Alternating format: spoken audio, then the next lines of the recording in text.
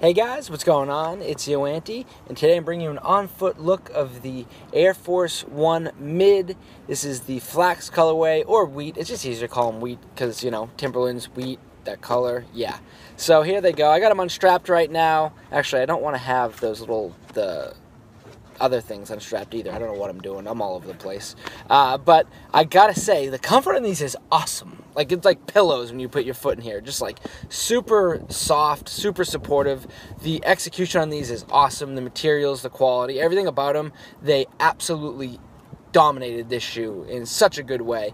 Uh, I think it looks so sick. Like this look here, and everyone's like, says like oh lumberjack whatever but I, I don't really i love the way that looks. That's why it's like when i wear like flannel and stuff like i'm not trying to be a lumberjack or try not trying to be a hipster. I'm just like i love flannel shirts. I love having a beard if that makes me a lumberjack, then I guess it does. But that's just things I like.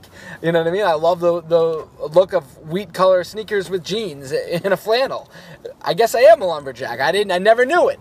Uh, but I want to show you guys the shoes. It took me forever to get these, long process, but it was well worth the wait. Um, this is a size nine, and honestly, when um, I had uh, when I first was looking for a size, I thought I wanted eight and a half, but they fit a lot more snug than because all my other Air Force ones are size nine and they fit a little big. So I thought I wanted to go half size down, but I actually the true to size worked out perfect for me. So I would actually suggest true to size if you're looking uh, to pick these up. I had someone uh, on Instagram ask me if they thought they should pay resale, and and normally I say no, but I'm like, on these, if you can find an, a, a good price, yeah, I, I would pay a little over retail. Uh, that's necessary sometimes, but but don't pay like crazy price. You know what I mean? Like it's it's a nice shoe, and I, I think it's worth having, but don't go overboard. You know, you got to set a limit. Uh, I strapped them up so you can see what they look like strapped.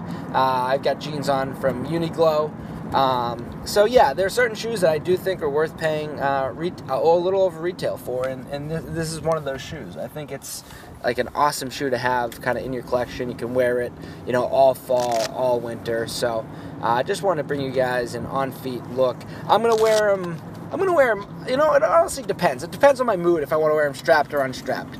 Um, if I'm feeling, you know, a little like, eh, a little more casual, I'll leave them uh, unstrapped and just kind of let them hang. But if I'm feeling a little like, you know, I don't want these secure today, then I'll, uh, I'll strap them up. But uh, as always, guys, thank you for watching. Hit that thumbs up button if you enjoyed the on feet video, and I'll talk to you tomorrow. Take care.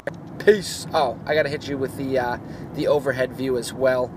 The oh oh oh oh oh oh, oh overhead view view view chicka chicka view view.